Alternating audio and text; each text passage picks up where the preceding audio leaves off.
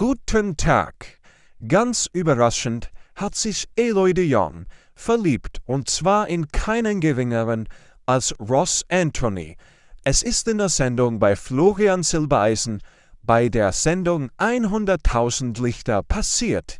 Die beiden sind schon länger gute Freunde, aber jetzt wurde aus der Freundschaft echte Liebe, sagt er. Die beiden haben sich Hals über Kopf ineinander verliebt und Ross Anthony will sogar seinen Mann für Eloy verlassen und will ihn heiraten, sagt er, und das so schnell wie möglich. Die beiden sind jetzt tagtäglich zusammen und nicht mal ein besonderes Ereignis im Fernsehen kann die beiden trennen. Die Liebe ist echt. So viel ist sicher, sagt er, und wir denken echt darüber nach, ob wir nicht bald zusammenziehen werden.